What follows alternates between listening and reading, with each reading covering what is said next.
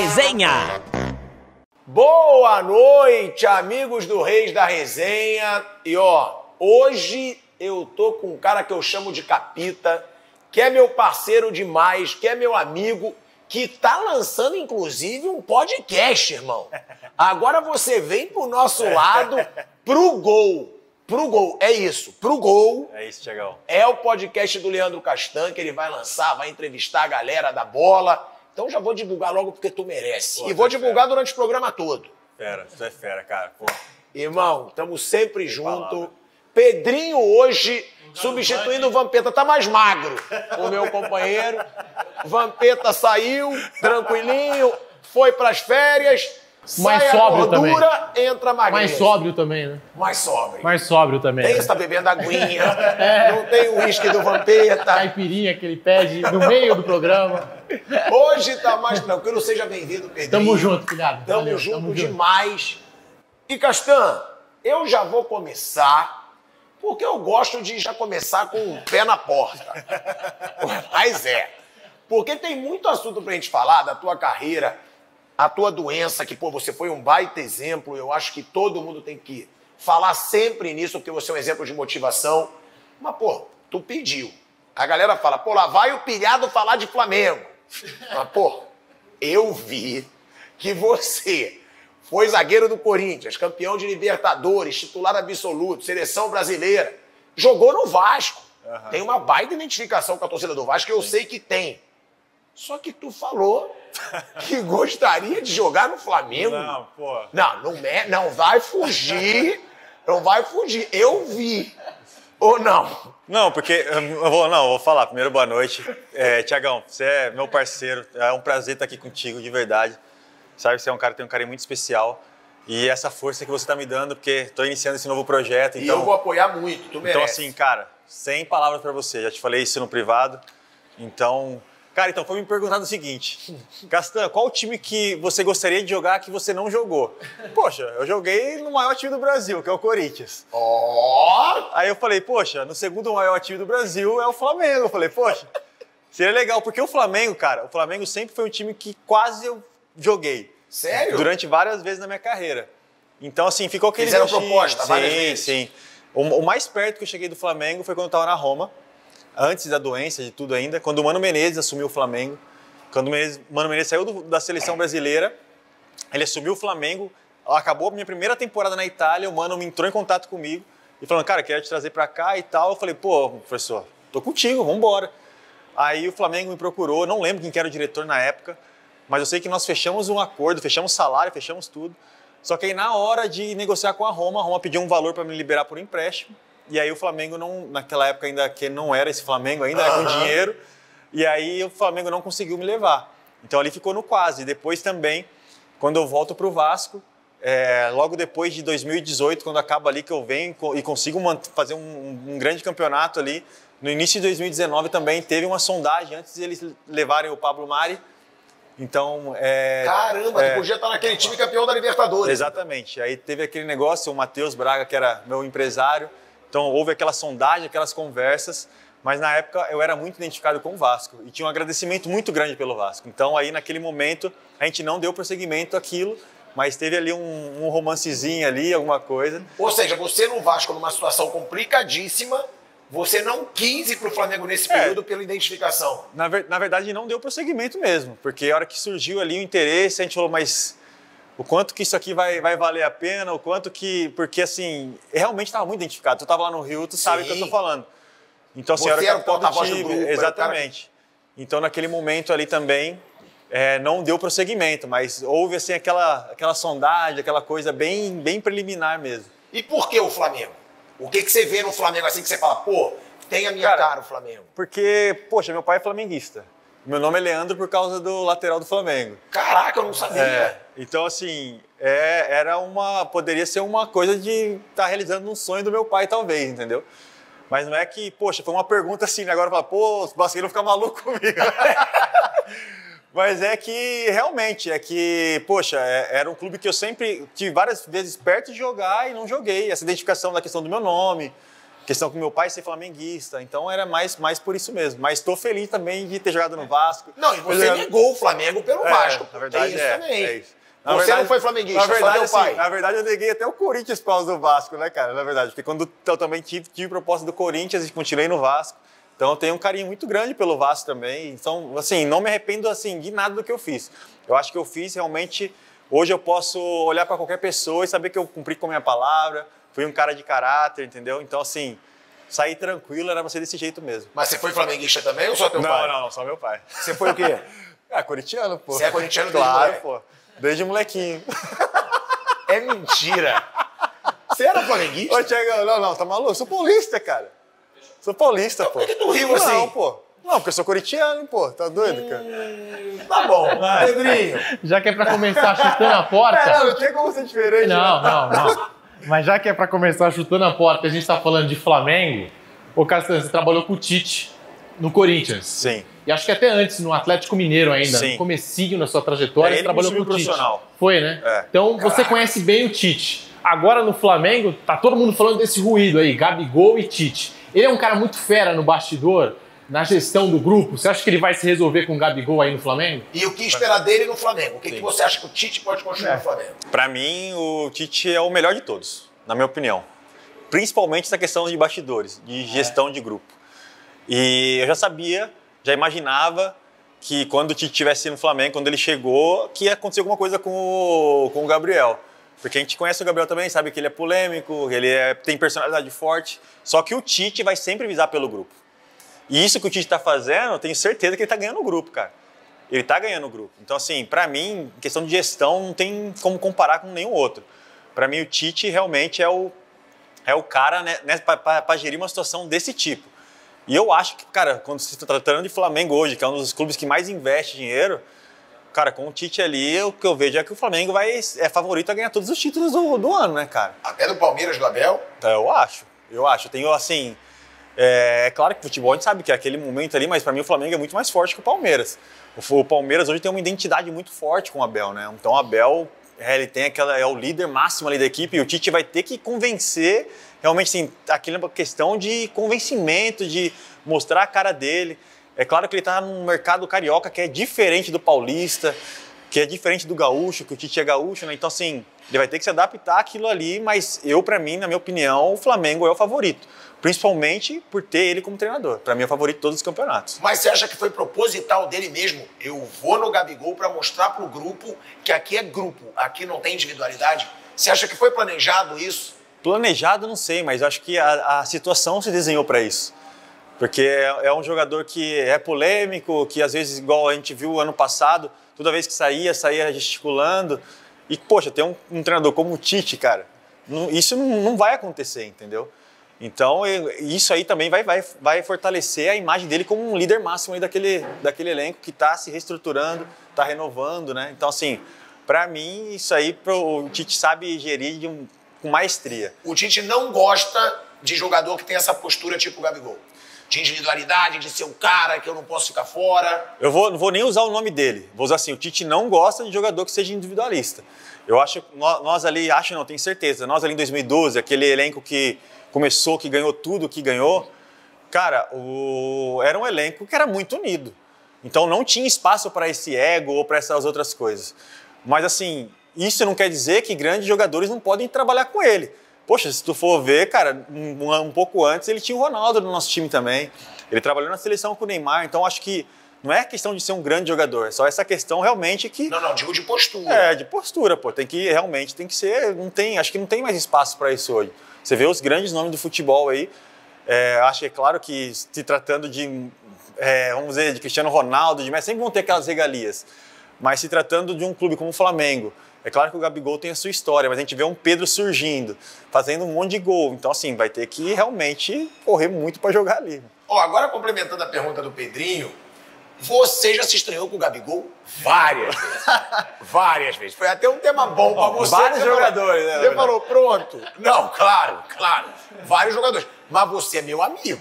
Fala aí, pode meu falar. parceiro. Mas muita gente, tanto que eu já te defendi tanto, muita gente já me falou, cara, o Castan é gente boa demais, mas no campo o Castan é insuportável. Sim. Já escutei isso Ainda bem que eu parei, né? É, é. E aí eu falava, porra, cara, mas o Castan é gente boa demais. Os caras, Cara, mas no campo ele quer briga, ele quer. E é do zagueiro. Sim. Agora, o Gabigol, ele é muito chato, porque o que viralizou foi aquele lance, aquele rio, que Sim. você se chocou, foi com qual Com o Werley. com o Erling. E ele sai rindo. É, é, chato, é o jogador mais chato que você já cruzou? E por que, que você tinha essa treta com o Gabigol? Cara, o- o- essa treta começou lá quando ele tava no Santos, quando eu cheguei em 2018. A gente se deu uma estranhada lá, e aí aquele, aquelas piadinhas pra lá, piadinha pra cá.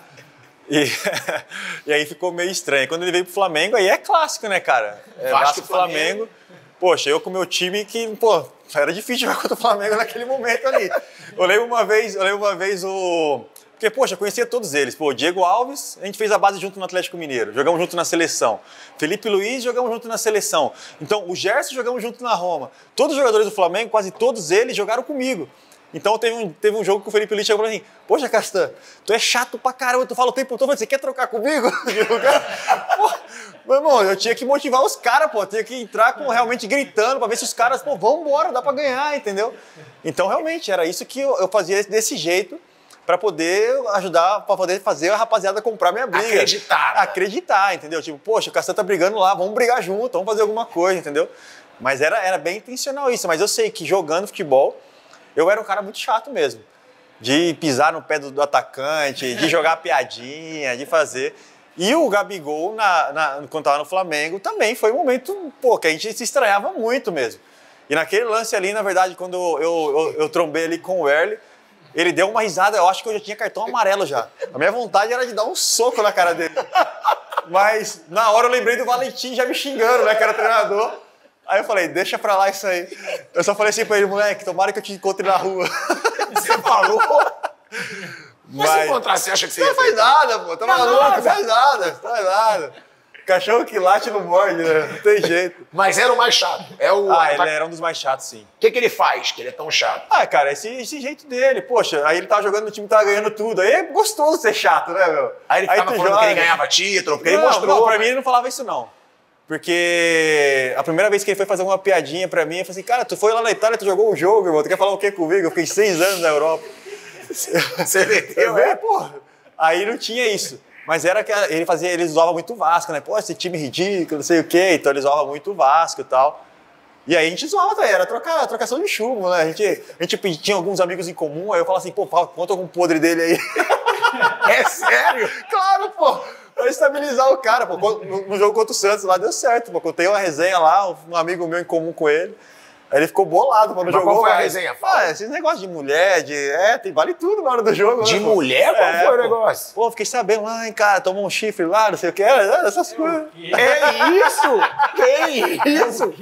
Então você meteu pro Gabigol que ele levou chifre de não, alguém. não, não, não, era, não.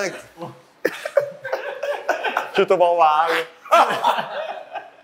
Ué, foi você Então- que falou. Então tem não algum fui fundo eu. aí de verdade. Tem, tem, tem no fundo, tem um fundo aí. Ah, você sabe, pô, você tá no meio, quer falar o quê? Tu não sabe, pô. Lá no Santos, quando os caras eram amigos lá, pô, tu sabe disso, cara. Como você é ridículo. Foi você que me contou. Aí não, aí não. Olha, Aí- o cara vai pra fogueira aí quer me levar casa, junto. derrubar Quer me levar né? junto. Mas isso é bom. Isso é bom, isso é a bola. É, isso é não, bola. é aquela e o brincadeira Gabigol tira a saudável. onda dele, ele tem que aguentar. Claro, é brincadeira saudável, assim. E depois, e depois quando a gente já se encontrou fora também, foi super normal, cara. Porque o que acontece no campo fica no campo, pô. Não tem que levar pra fora. Então, no fundo, você tá até um pouco ainda mais feliz com o Tite, né? Por quê? Porra, Tite tá barrando o É, eu dei uma Gabigol. ligada pro Titi antes. Já que a gente foi pra centroavante, Totti na Roma. Vou Poxa. colocar lá pra cima o patamar. o Pô, nível subiu aí. muito agora, né? Subiu, subiu muito. Subiu muito. Pensei em tocar no tema Thiago Galhardo, vou deixar pra depois. É, deixa pra Vou depois. deixar pra depois. Cara, Mas o- já que a gente tá falando de centroavante, Totti talvez tenha sido o cara da sua carreira que mais te impressionou. Não, o que mais me impressionou foi o Ronaldo. Ronaldo, com certeza, foi o que mais Ronaldo já mais velho Pô, tá e maluco. acima do peso. Tá maluco. Tem como não, não tem igual, não tem igual. Não, fala sério, é babação de ovo ou é verdade? Não, porque você jogou com o Totti Sim. no auge. Não, o não Totti era no também não também, não. De O Roma. Totti tava com 36, 37 já. Ah, quando você chegou na É. Roma ele já tava mais coroa. É que ele jogou até 42, pô. Caraca. É, então assim, por isso que ele ficou, a gente jogou muito tempo, ele já era já coroa já. Caramba, o Mas Ronaldo o- mesmo acima Ah, do peso O Ronaldo era caramba. diferente, cara, finalização. E o Totti, pô, de- desses caras, é difícil falar desses caras, né, meu? Mas o, o Totti, tudo que ele. A questão da, da presença dele, assim, tudo que ele simbolizava pro time, sabe? Pro clube, pra Pro cidade, clube. né? Então, Ele assim, é era, da parada. era surreal, cara. E, mas assim, onde nós íamos jogar também, ele era odiado. Porque lá é muito regional a, a- a torcida, né? Quem é de Roma, torce pra Roma. Quem é de Firenze, torce pra Fiorentina. A torcida que é mais nacional é a Juve. Que é todo, em todo lugar você vê Juventina e tal. Mas o Totti em Roma, eu sempre já falei várias vezes, ele tem mais moral que o Papa, cara. Lá o Totti... Tem mesmo, é surreal, eu já vi. É, é sinistro. Eu já vi, é É, uma surreal. coisa, é uma coisa sinistra. E, e, assim, uma pena que ele não deu prosseguimento ali depois de ter jogado futebol, continuado no clube. Ele até tentou como diretor e tal, mas ele não conseguiu dar prosseguimento na carreira dele ali dentro do clube, porque senão seria mais, mais forte ainda essa presença dele. Mas a hora que ele pega na bola, eu tenho uma, eu tenho uma história muito legal que eu, eu não gostava de tocar bola pro volante quando eu ia buscar a bola no pé, sabe? O volante pegar a bola no meu pé assim, eu, cara, não gostava. Eu falei, pô, tá achando que eu sou ruim, né, cara? Sai fora. E aí, beleza, cheguei lá na, na Roma, pô, brigava com os caras, gostava de conduzir a bola, levar a bola. E aí, beleza, aí veio o, o, o Totti assim na minha direção, correndo assim, né? Só passei a bola pra Toma, ele. né? toma. Passei a bola pra ele assim, cara, e a batida na bola dele é muito linda, né? Aí o estádio olímpico lá, aquele estádio enorme, tava lotado. Ele pegou, virou a bola do outro lado assim, cara. Só virou a bola de jogo, a torcida do estádio inteiro. Falei, caramba, tipo assim, ele era sinistro mesmo. E por que, que o Ronaldo te impressionou mais, Ah, mesmo acima do porque peso? o Ronaldo era, é Ronaldo, cara. Assim, ele é, pô, sou brasileiro, era meu ídolo de infância. E aí chega no Corinthians, vejo o cara. Você vê os, mesmo ele já pesado, mas os primeiros três passos dele ninguém pegava, cara. Não tem como. A finalização dele, é, ele na cara do gol, você via treino de finalização com os goleiros, cara, ele judiava da goleirada. Então o Ronaldo, pra mim, assim, dos que eu joguei, pra mim, tem, mesmo já estando no final da carreira dele, não tem igual. Ô Castão, uma coisa que impressiona na tua história foi o tumor no cérebro que você teve. Uhum. Foi uma doença gravíssima. Você me deu a honra de falar em primeira mão pra Verdade, mim. verdade. Repercutiu pra caramba lá no canal Pilhado quando a gente fez a entrevista. Cara, foi uma verdade, época que eu precisava. verdade, verdade. Porque meu canal tava crescendo e você me ajudou pra caramba, então essas coisas eu não esqueço. E, pô, foi um momento que você tava jogando na Roma titular, seleção brasileira, tava sendo convocado, tava brigando por uma vaga. Era em Copa do Mundo, não era? Sim. em Copa do Mundo e do nada vem essa notícia de um tumor no cérebro. Você até me mandou imagens, eu vou pedir de novo pra gente botar aqui no Reis da Resenha, você reaprendendo a andar, cara. Você no hospital, depois da cirurgia, sem saber andar, reaprendendo a andar, e você voltou a jogar futebol. Como é que foi esse momento pra você e o que, que representa na tua vida você ter sido foda ao ponto de voltar a jogar futebol depois de ter desaprendido a andar e a chutar uma bola? Cara, eu não lembrava disso, mas foi mesmo. Você foi a primeira pessoa que. Eu até, o, até o vídeo, cara. Os vídeos, eu fui a primeira pessoa que viu também. Porque eu tinha, eu tinha muito. Cara, aquilo mexeu muito com a minha cabeça. Porque realmente, igual você falou, do nada aconteceu tudo isso.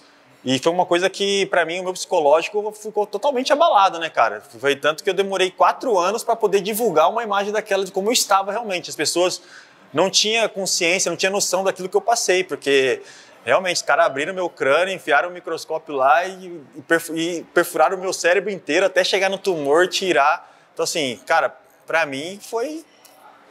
Cara, me vem até. Só de lembrar, me dar até arrepio, porque realmente foi muito difícil, cara. Foi muito difícil. E assim, eu falo pra você, o único jeito que eu consegui isso foi porque Deus me deu muita força, cara.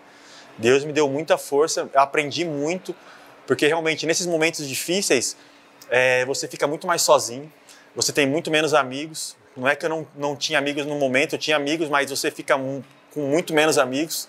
Então, assim, realmente eu posso falar para você que foi Deus que, que, que me fez superar esse problema. Porque eu não consegui mais jogar como eu jogava antes, eu não consegui mais ser o Castan que eu era antes. Não conseguiu. Não consegui, mas eu consegui jogar mais 150 jogos em um nível muito bom também e que eu consegui encerrar a carreira de um, de um, de um modo, pelo menos, jogando futebol. Não doente, aposentado por causa de uma doença. Então eu posso falar que eu consegui vencer essa doença, consegui dar a volta por cima, mas realmente foi um período muito difícil. Foi assim, muito difícil e me fez também ter muito mais um olhar muito mais assim de compaixão também pelas pessoas que sofrem por isso também. Porque às vezes a gente não tem noção. Uma pessoa tem um problema no cérebro, um problema de tumor, a gente não consegue imaginar o quanto a pessoa sofre, o quanto a pessoa sofreu. E hoje eu sei o quanto é difícil realmente superar isso. Como é que foi? Qual foi o momento mais difícil? Foi, a- foi quando você recebeu a notícia ou depois da cirurgia que você viu que você não sabia andar? Cara, é... com certeza foi quando eu recebi a notícia. Porque a minha grande preocupação era em ficar vivo. Era em ficar vivo. Aliás, foram dois momentos. Porque antes de fazer a cirurgia, eu queria era ficar vivo. Eu nem pensava mais em futebol, tanto que eu queria parar e não tem problema nenhum em parar e vamos embora e segue a vida. Tinha 26 anos. Eu falei, não, vou, vou parar de jogar futebol porque eu quero ficar vivo. Só que depois que eu decidi fazer a cirurgia, eu fiz a cirurgia para voltar a jogar. Só que quando eu volto, cara, eu lembro que teve um momento que me marcou muito. Foi quando a primeira vez quando eu fui pro campo treinar com bola. Que aí, poxa, eu eu, eu fui zagueiro, né? Mas eu tinha uma qualidade para jogar. Pô, a minha canhotinha era afiada, cara. Eu era a minha canhotinha era muito boa. E aí teve um, o treinador ele rolou a bola para mim assim, eu nunca esqueço, cara. Ele rolou a bola para mim assim, eu no campo, né, para brincar com a bola, ele rolou a bola para mim assim, eu fiquei olhando, a minha cabeça pensou em dominar a bola. Eu fiquei olhando, pensando, pensando em dominar ela com a sola assim, a hora que eu vi a bola parou no meio das minhas pernas, meu pé não se mexeu. Então ali para mim naquele momento ali assim para mim, cara, foi tipo assim, cara, já era, meu. Não vou conseguir mais fazer isso, sabe? Então assim, foi um dos momentos muito difíceis também. Então, essa parte de querer ficar vivo primeiro, porque, poxa, em duas semanas eu perdi 15 quilos, então, assim, minha cabeça ia morrer. E depois essa segunda parte também de querer voltar a jogar futebol e meu corpo não me responder naquilo que eu pensava. Também foi um momento muito punk, mas é, eu vejo que, poxa, na- na- depois de um mês, pô, conseguia dominar a bola, conseguia fazer embaixadinha. Que, poxa, eu lembro quando eu pegava a bola, eu conseguia fazer embaixadinha, tava parecendo uns amigos meus que jogam bola comigo hoje. Pô, não conseguia fazer nada. Aí eu lembro que eu tinha desafios, assim, eu fazia assim, ó. Cara, eu vou fazer essa semana aqui, eu tenho que bater cinco embaixadinhas. Aí eu colocava lá, pum, não ia, não conseguia. Aí, pum, chegava sexta-feira, eu conseguia fazer cinco embaixadinhas. Cara, que louco. Semana que vem eu vou bater 10 embaixadinhas. Cara, foi assim durante seis meses, até depois eu consegui bater embaixadinha sem nem contar mais. Então, assim, foram realmente pequenos passos que eu fui dando, que eu fui vencendo, que eu falei, cara, hoje eu aprendi, eu falo, né, que eu aprendi uma palavra, que é superação. Eu hoje eu posso falar pra você, cara, consegui superar o meu corpo. Consegui, hoje poxa, eu posso pegar uma taça em cima da mesa, tomar minha água tranquilo. Então, assim, realmente foi um momento muito forte, assim, mas que eu saí um cara muito melhor, cara. Muito melhor. Continuei sendo chato de campo. Mas fora de campo. Mas fora de campo, é, realmente eu, Eu te melhorei conheço, você muito como converteu bastante pra religião. Você hoje é um Sim. cara muito religioso. Cara, quando, sa- sabe por quê, Tiagão? Quando você está num leito de morte, quando você está ali no, no, num leito onde que você vai fazer uma cirurgia, que você não sabe se vai voltar, como você vai voltar, quando você está ali de- na sua cama sem conseguir se mexer, tu começa a ver, e agora, cara? Pô, essa vida aqui, poxa, tinha uma Ferrari na garagem, mano. Mas e se eu morrer? Pô, pra onde eu vou? Então, assim, quando você está num leito de morte, você tem realmente um encontro com Deus, porque, ó, e agora? Tem alguma coisa depois? Acabou aqui? Então, assim, realmente eu tive um encontro muito forte com Deus, onde Deus me tratou, assim, em muitas áreas da minha vida. Então, pô, não tem como você sair, você entrar, passar por um- uma situação dessa na sua vida e você voltar a mesma pessoa. Não tem como.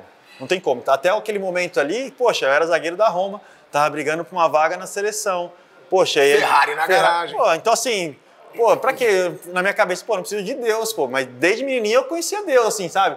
Mas chega naquele Deu momento. pô, você claro uma- que deu, pô. Claro que deu. É normal, pô. Então, assim, e, e- e essa deslumbrada, hoje eu vejo, eu agradeço a Deus, cara, por ter passado. Hoje eu posso falar, eu agradeço a Deus por ter passado por tudo que eu passei.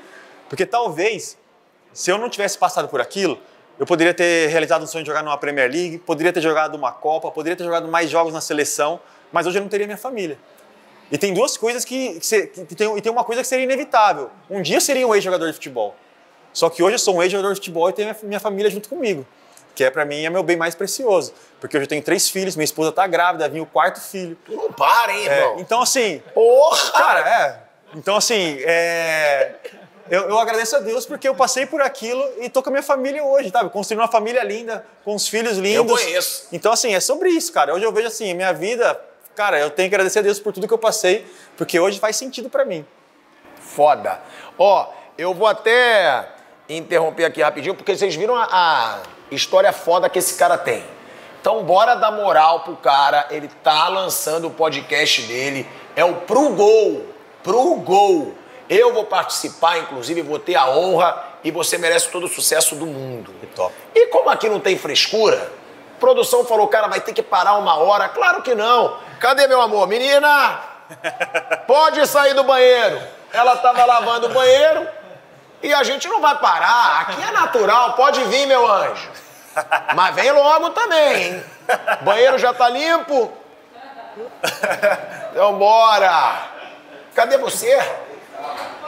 Olha ela aí. Tá trabalhando. Isso. Quem tá trabalhando tem toda a prioridade. Obrigada. Dá um oi lá. Pode dar um oi. Não tava fazendo necessidade, não. Ela tava trabalhando, hein? Ela tava trabalhando. Beijo. Vai, Pedrinho. Que fenômeno. A gente tava falando da, da história de vida sua, né, Castan? Faz você pensar muita coisa. E aí você falou, talvez, se você não tivesse passado por isso, teria disputado uma Copa do Mundo. Bate essa frustração em você por não ter jogado? Você acha que jogou, você acha que chegou muito perto de jogar uma Copa? Cara, a, a frustração, é, ela já passou. Eu passei desse período de frustração. Mas que nem um momento pra mim que foi muito marcante, que só eu sei como foi, porque quando acabou a Copa de 2014, eu lembro que eu estava sendo convocado com o Mano Menezes, aí com o Felipão eu fui convocado a primeira vez, na primeiro jogo do, do Felipão eu fui convocado, e aí só que o Felipão levou o Dante junto, e aí ele começou a, dar- a- a convocar o Dante e eu fiquei para trás. Só que quando acabou a Copa de 2014, falei, cara, agora é hora da reformulação, porque, poxa, foi, foi muito ruim, o 7x1 e não sei o quê.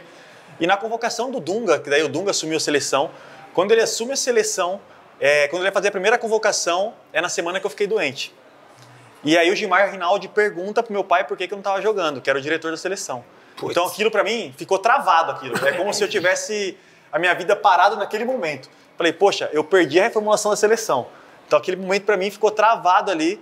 Mas hoje, graças a Deus, depois de muito tempo assim, cara, eu superei isso. Mas foi, um- foi um- uma, uma situação muito difícil de superar. Porque, poxa, você, cara, tava no auge da minha carreira, cara, com 26, 27 anos ali.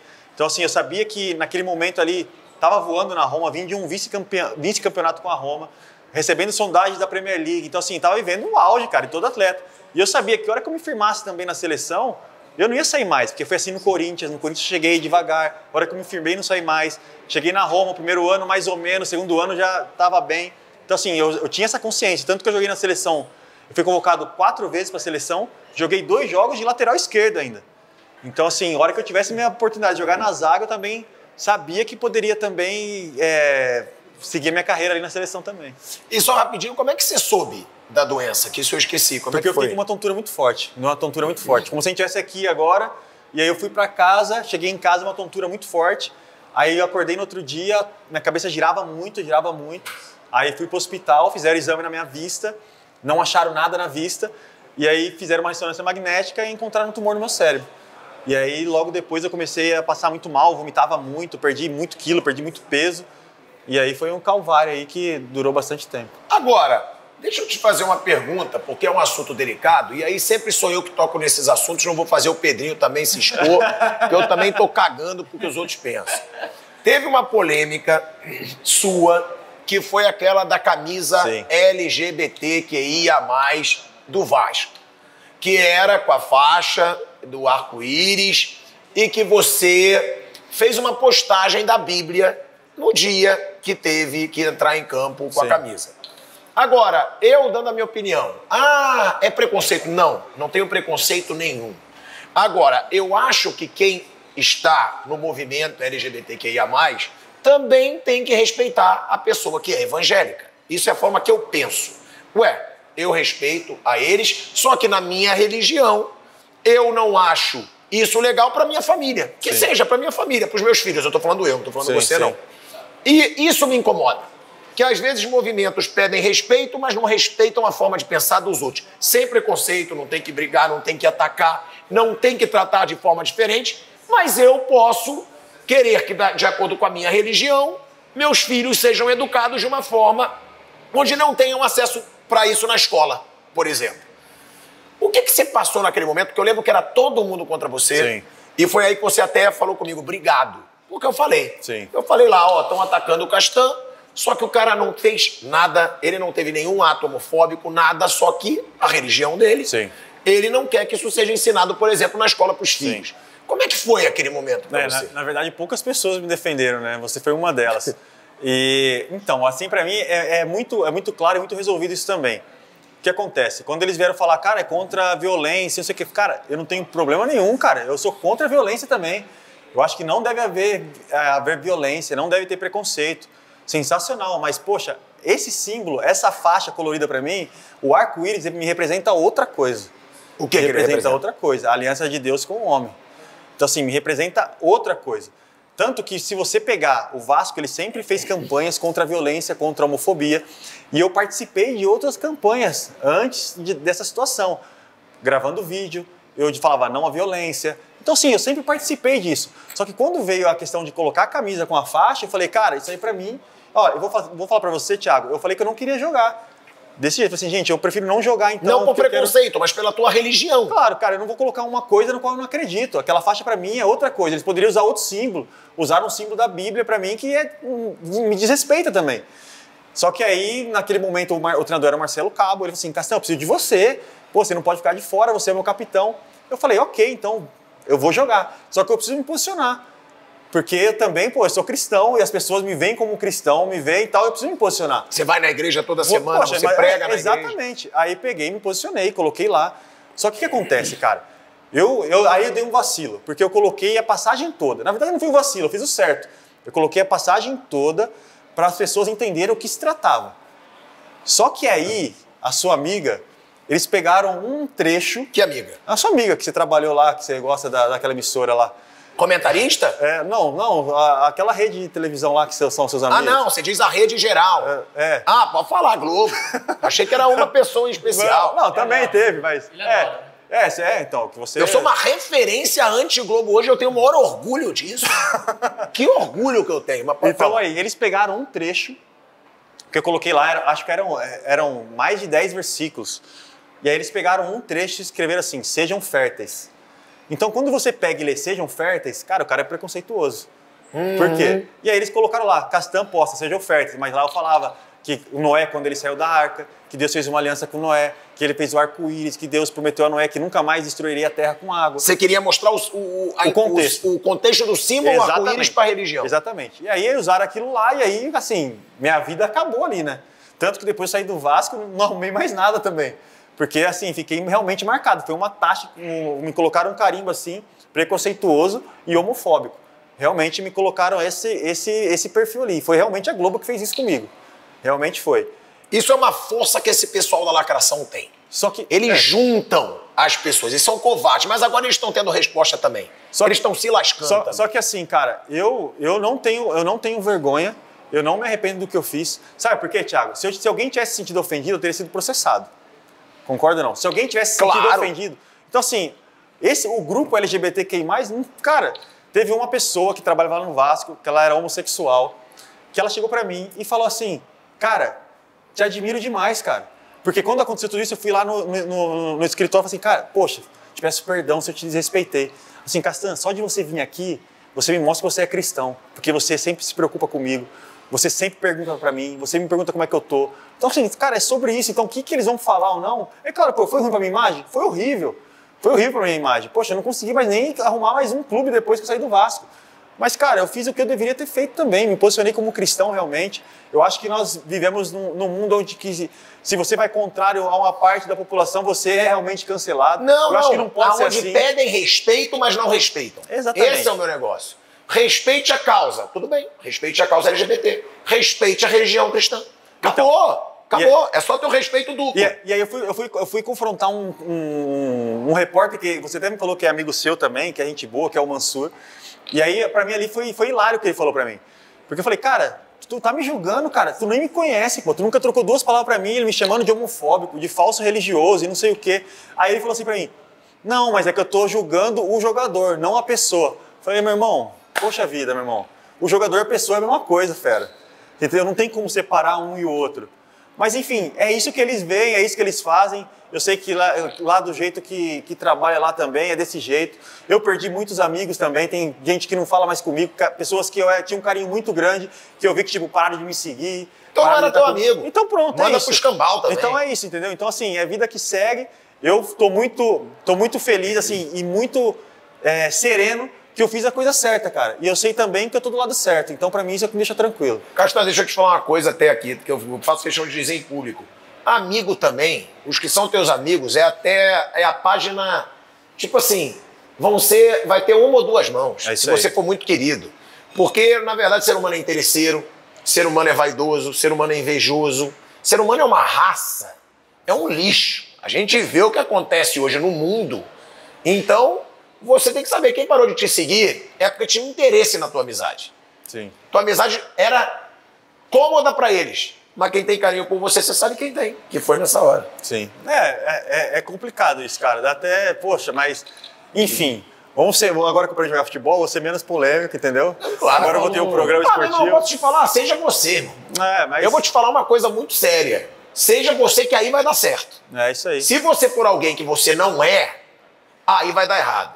Sim. O negócio é o seguinte, irmão, você precisa de alguém pra quê? Agora eu vou ser Sim. sincero. Você já tem dinheiro, você já tem tua família, você tem tua consciência tranquila, que é o que eu vivo. Eu tenho muito menos dinheiro que você. Só que eu já tenho o necessário pra eu viver sem dever satisfação pra ninguém. Então, irmão, seja você, porque ser falso por causa de uma geração chata e Nutella também não vale a pena. Sim. Você falou do lado externo que perdeu amizades, te prejudicou. E internamente falando, o vestiário do Vasco, você saiu prejudicado dessa história? Alguém não reagiu bem a esse teu posicionamento? Porque eu lembro que na época saiu até que o Cano foi para uma direção e você foi para outra, evidentemente. Rolou isso mesmo dentro do vestiário? E esse atrito com o Cano é verdade ou não? Cara, então, isso aí, a questão do, do, do vestiário, cara, foi super normal, e assim, tô falando com muita sinceridade mesmo. Porque eu já até, até falei sobre isso em outro lugar, agora eu não lembro onde eu falei. Eu e o Cano, nós tínhamos uma amizade amistosa. Nós nunca fomos íntimos, nós não tínhamos é, intimidade de estar junto. Tanto quando ele chega no Vasco, cara, poxa, eu era doido pra um centroavante, pô. Quando ele chega no Vasco, eu levo ele na minha casa pra jantar na primeira semana que ele chega no Vasco. Só que não bateu, cara, a gente não, não- não se alinhou, a gente não, não tinha, enfim. enfim. E, mas assim, era muito respeitosa, Não cara. é que não batia, é que jeitos diferentes. Pronto, assim. Era, mas ele me respeitava muito e eu respeitava muito ele. Quando começou a surgir essa, essa questão, ah, é a turminha do Castan, a turminha do Cano, eu chamei o, o assessor do, do Vasco, que era o, o Gregory, falei assim pra ele, ô, ô Gregory, isso eu não aceito, irmão. Você vai ter que se virar pra desmentir essas fofocas que tá tendo. De panela, essas Porque, irmão, eu joguei minha carreira inteira, cara. Nunca ninguém fui taxado de paneleiro. Nunca fiz panela em lugar nenhum. E, poxa, e eu não me permito a, a querer concorrer com o cano por qualquer coisa. Se ele quiser fazer alguma coisa, ele já ganhou, irmão. Eu não preciso disso aqui, não. Ele já ganhou se ele quiser alguma coisa. Só que ficou ruim porque ele realmente levantou a bandeira, tanto que eu nem tinha visto na hora do, do gol. O cara tava tão desesperado, irmão. Você imagina jogando a Série B com o Vasco, contra o Brusque, empatando 1 a 1 em São Januário. Quando a gente faz o gol, o gol do Cano, cara, eu queria, tava, foi um alívio pra mim. Eu, fechei os olhos assim, olhei pro céu, eu nem vi que ele levantou a bandeira, eu tava nem aí pra bandeira, pra nada. Quando eu cheguei em casa, um monte de mensagem. Caramba, o cara te afrontou. Cara, eu nem vi, a gente nunca nem se falou sobre isso. Nós nunca nem falamos sobre essa questão Mas de bandeira. Cara, Tiagão, na moral, sinceramente, cara, pra mim não fazia pô, tanto faz. De verdade mesmo. Pra mim, eu queria que ele tivesse feito o gol de pênalti contra o Inter lá, que a gente não tinha caído. Que ele tivesse feito o gol co- contra o Guarani aqui em Campinas. Era só isso que eu queria. O que ele pensa, o que ele faz, não tem problema nenhum. Tanto que agora ele tá fazendo os gols, parabéns pra ele, segue a vida dele acabou. Nosso interesse ali no Vasco era fazer o Vasco subir. Só que a gente não conseguiu. Entendeu? Então, assim, os dois saíram derrotados. Ninguém, ninguém sai vitorioso nessa. Agora, Corinthians, irmão, porque você virou ídolo, campeão de Libertadores, ganhou tudo, é, quer dizer, ganhou o principal título Sim. da história do Corinthians, porque, claro, o Mundial depois foi o principal. Mas todo corintiano queria Libertadores. Sim. Porque falaram, Libertadores não tem. E, e o Corinthians já tinha conquistado o Mundial. hoje, É, A piada do é. Palmeiras hoje. O Que é Vampeta isso, falou já- que quando ele jogava, o São Caetano chegou na final e os caras não deixaram tudo torcendo. Não, não, não, o São Caetano não pode. Vai ganhar na frente do Corinthians, ele secando no vestiário do Corinthians. E você já fez questão de falar do Palmeiras. Não, mas, porra, é a piada, pô. Tá, mas tem Mundial, Palmeiras? Claro que não. Não, tem Mundial? Pô, mas tem, tem. Não, eu vou ser sincero, pra mim não. Então, pra mim também não, pô. Eu acho que não tem. Pô, tá ganhando, tem 20 Libertadores, mas o Mundial, e eu acho que não vai ganhar mais. No formato que tá se desenhando agora, essa piada vai ser eterna. É, porque é difícil. O time brasileiro ganhar o Mundial agora. Não tem como, pô. É muito difícil. Não tem como, É cara. muito difícil. A gente É viu o City agora aqui, cara, o Fluminense, é outro ritmo de jogo. Os caras têm outro corpo, os caras. É outra, é outra pegada, não tem como, pô. Agora, Não tem como. e o Corinthians, irmão? Porque o Corinthians, nos últimos anos, tem virado motivo de piada, de chacota. Uhum. E tem. É pelas gestões que teve, é pelos campeonatos ruins que vem fazendo, por ficar lutando contra o rebaixamento. Tava na zona do rebaixamento no Campeonato Paulista. Você viveu lá. Qual você acha que foi o grande erro do Corinthians nos bastidores, gestão? Uhum. E como é que é pra você que é ídolo do Corinthians, ver o Corinthians passando por esse momento? Cara, primeiro, ver o Corinthians passando por isso realmente é triste, né? Porque é, tô, eu tô, tô lutando com meus filhos pra eles serem corintianos, né? Porque, pelo amor de Deus, não tem como não ser, só que tá difícil, né? É sério? Você fica nessa batalha. Claro que eu fico, pelo amor de Deus. Só que, cara, eu saí do Corinthians no auge do Corinthians também. Então, o Corinthians campeão da Libertadores, campeão brasileiro, e depois de lá, aquele início ali ganhou tudo. Então, assim, eu não tenho muita noção do que aconteceu nos bastidores. Mas tendo, mas de fora, de fora, eu vendo, talvez é, tenha dado um passo maior que a perna. Em questão do estádio, talvez, em questão de contratação de jogadores. Isso eu tô falando, cara, tô falando de um cara que eu é, admiro, respeito e amo muito ele, que é o André Sanches, cara, que foi ele que fez o estádio e tudo. O Andrés, para mim, ele é o melhor presidente da história do Corinthians. Eu falo isso aqui, os corintianos vão ficar bravos, mas na minha opinião ele é. Porque Por quê? eu sei, quando eu cheguei no Corinthians, eu sei o que era o Corinthians. Eu vi o que era o Corinthians. Nós, nós nos trocávamos debaixo de uma arquibancada, lá no Parque São Jorge.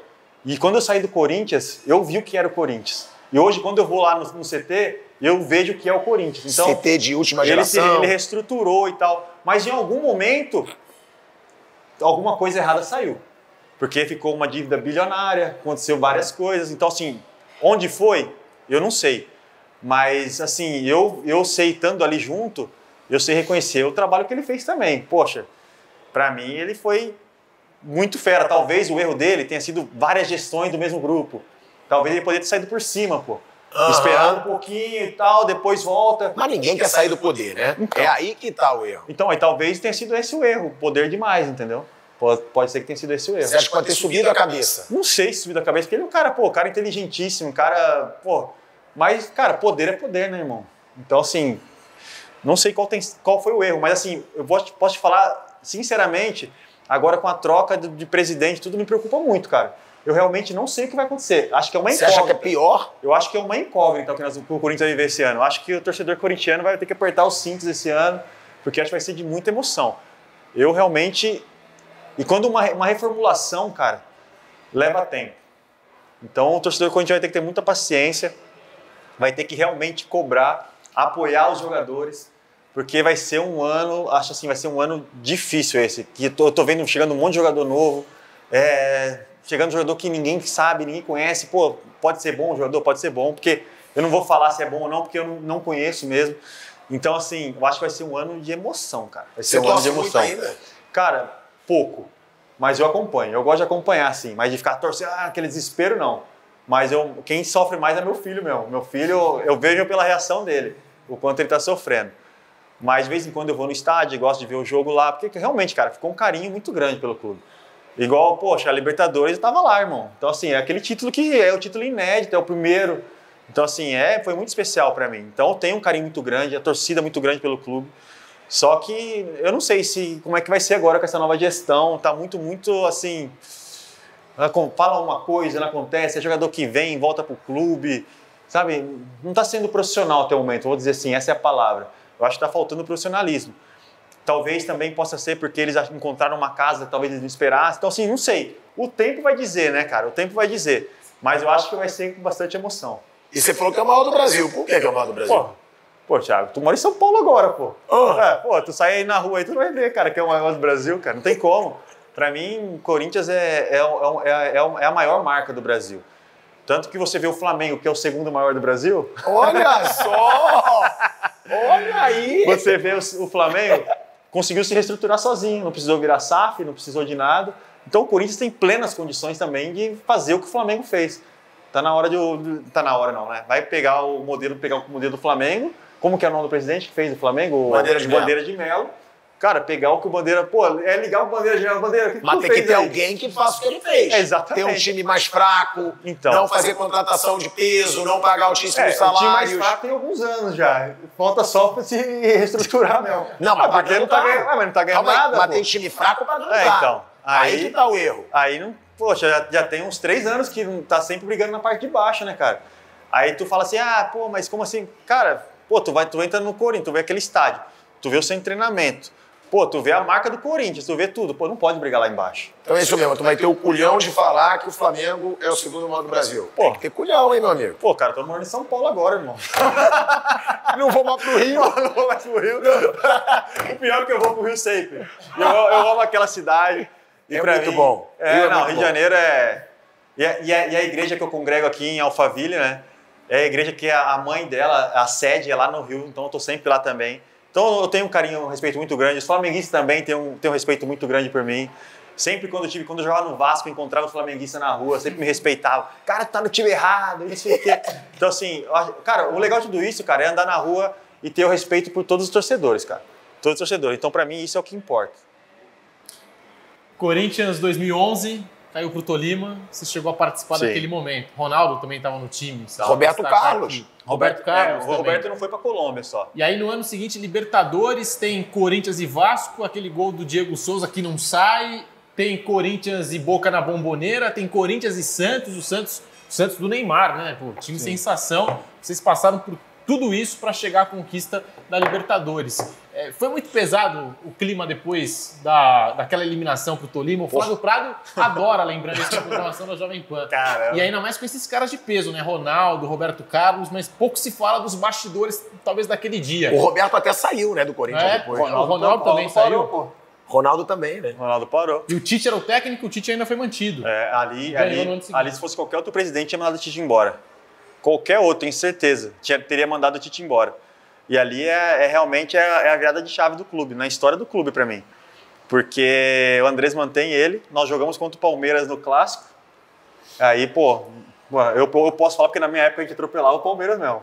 Não, é, é verdade, pô. Hoje eu fico, eu fico agoniado vendo o Corinthians jogar com o Palmeiras, pô. Nos últimos 15 jogos, uma vitória do Poxa, eu Corinthians. fico, eu fico agoniado.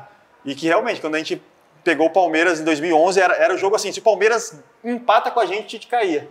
Aí o Alessandro faz um gol lá que ele chuta a placa, tal, faz aquele gol ali e o Tite dá uma respirada. E a gente continua no Paulistão, a gente vai ter a, a final do Paulista, onde que daí a gente encontra o Neymar, o Ganso, que aí não tinha, não tinha como, não tinha o que fazer. A gente foi vice-campeão e aí começa o Brasileirão e a gente engata 10 jogos invictos e bate campeão brasileiro. Então aquele jogo ali foi virada de chave, porque realmente foi muito pesado. Acho que foi a pior experiência da minha vida, cara.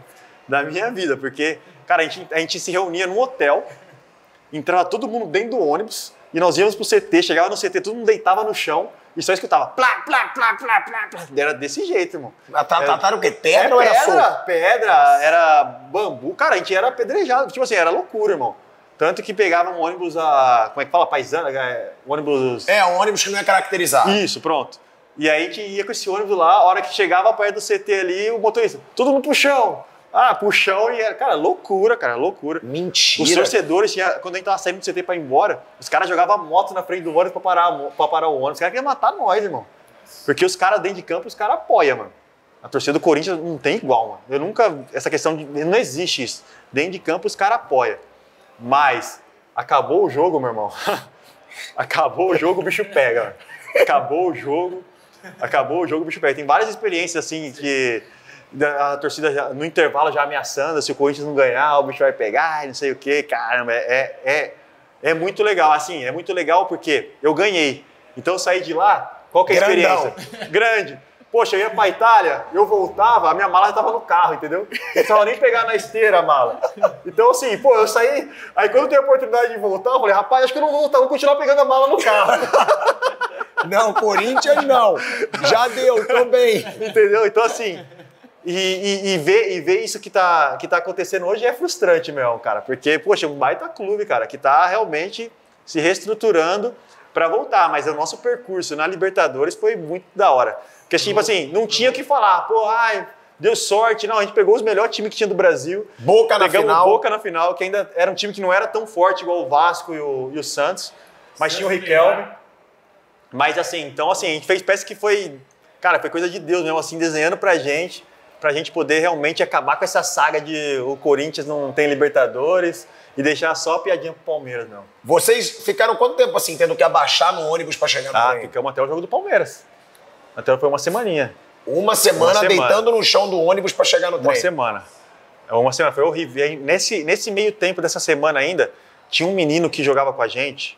Cara, isso aqui é de cortar o coração. O nome dele é William Moraes. Ele tinha ficado com a gente em 2010, ele foi emprestado para o América Mineiro. E aí ele foi num churrasco lá, ele foi assaltado, reagiu, tomou um tiro, morreu. O menino tinha 20 anos. Aconteceu tudo nessa semana de Tolima e Palmeiras.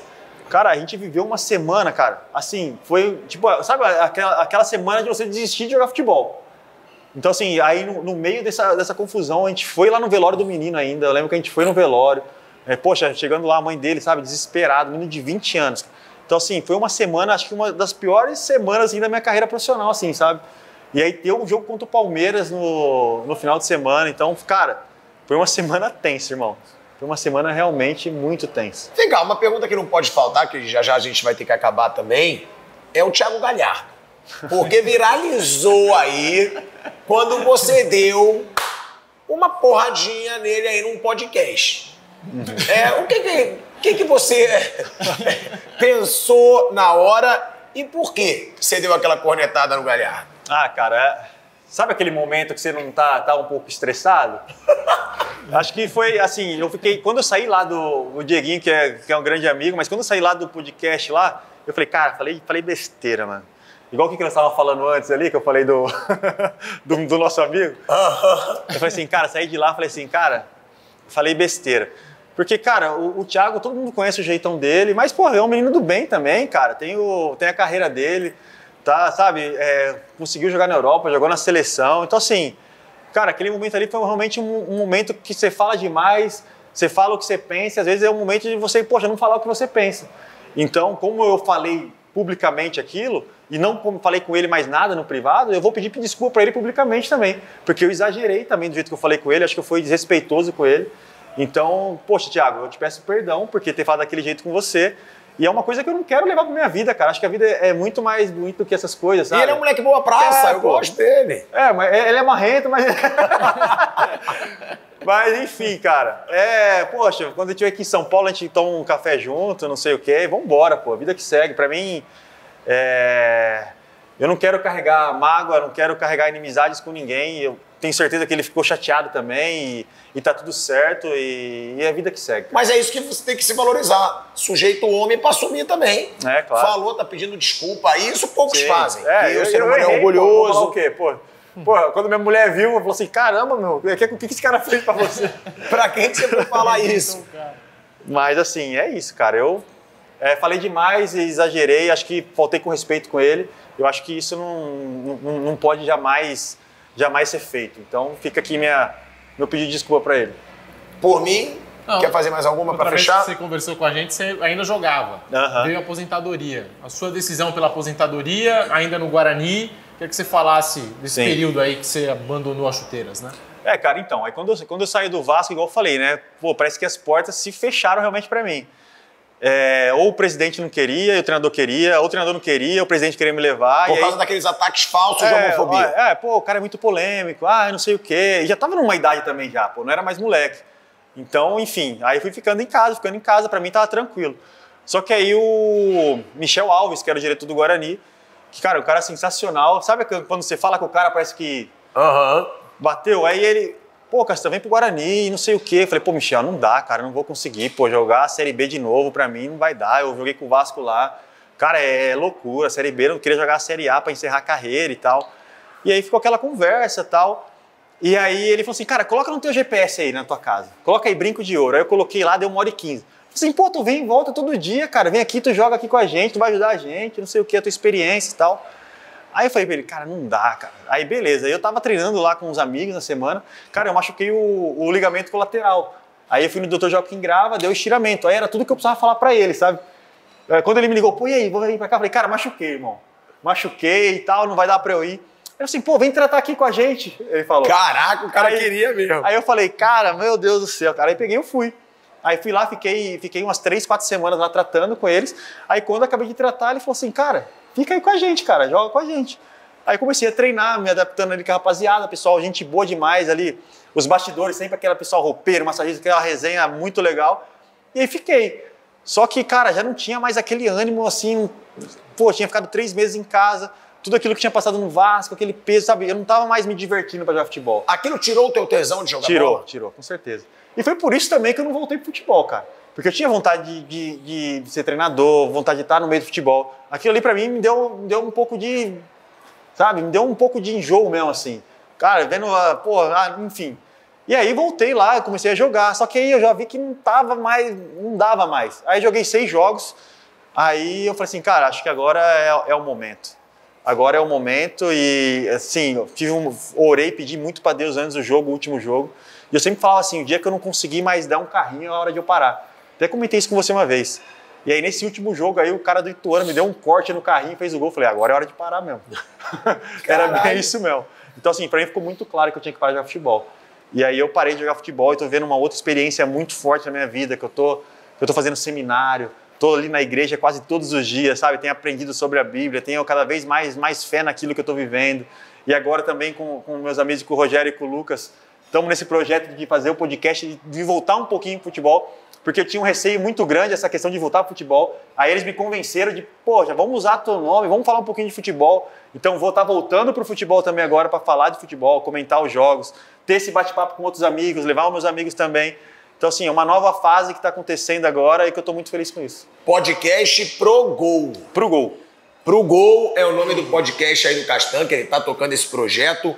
Faço questão de divulgar, de ajudar, porque sei que você é muito gente boa e você vê aí como a covardia do ser humano tira a motivação de um cara É, que adora jogar bola, vem um bando de covarde. Por isso que eu amo cagar pra eles.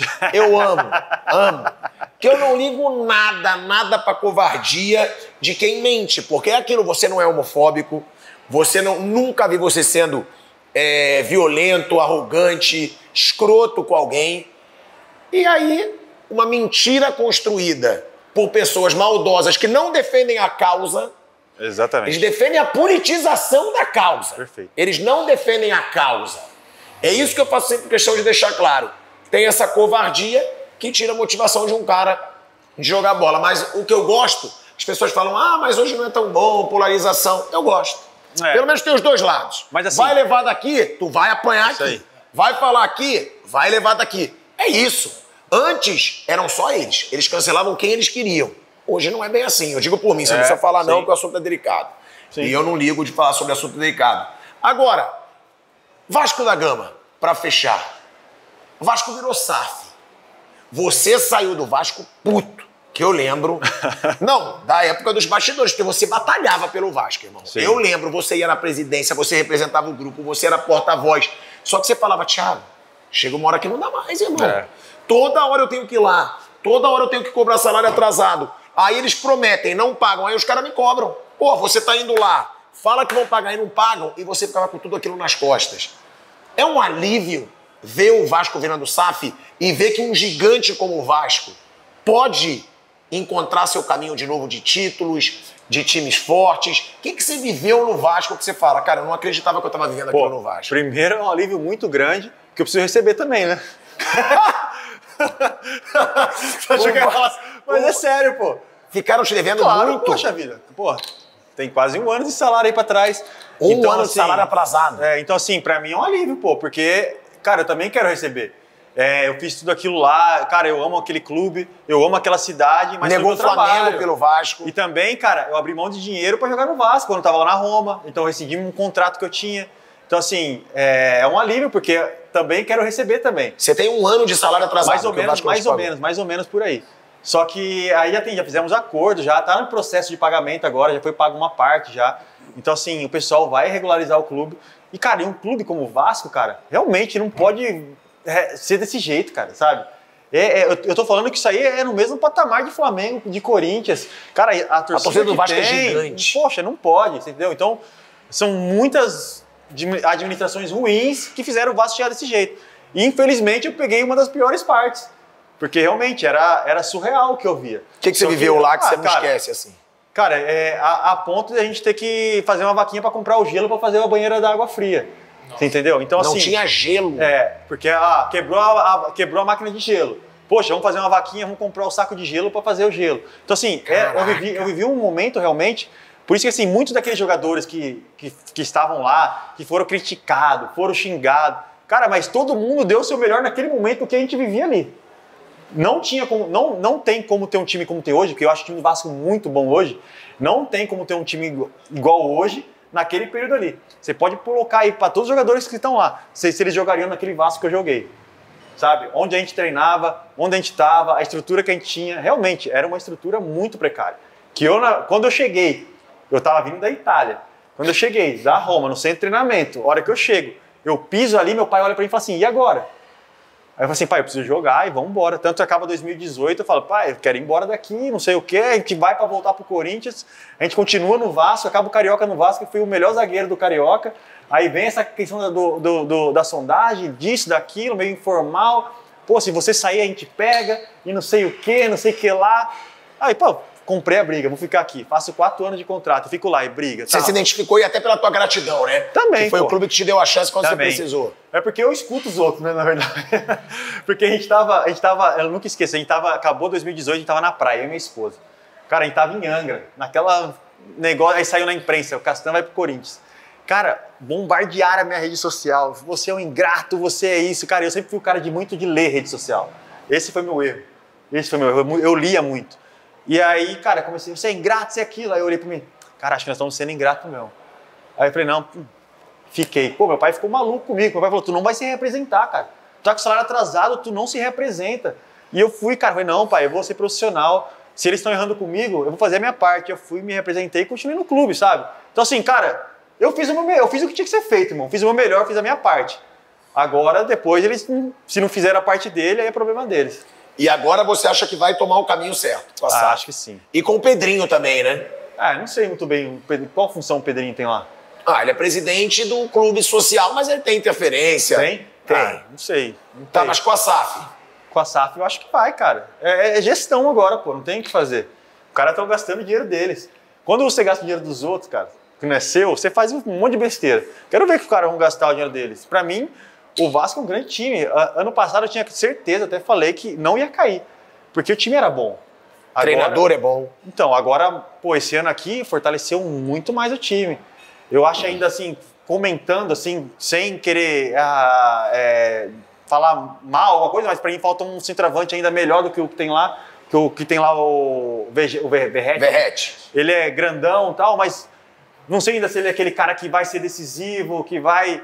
Se tiver um, se tiver um outro atacante ali, um cara que fazedor de gol, que na hora um pouquinho mais técnico também, que consegue fazer o jogo desenvolver, não só para cruzamento, mas um cara que joga mais, o Vasco para mim briga lá em cima no Campeonato Brasileiro. Olha aí, ó. Galera, a gente vai fechando aqui e eu vou dizer de novo: podcast pro gol desse cara aqui.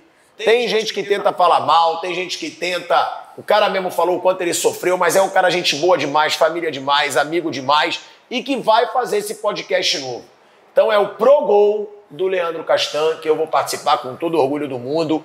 Irmão, boa sorte nesse novo Obrigado, projeto.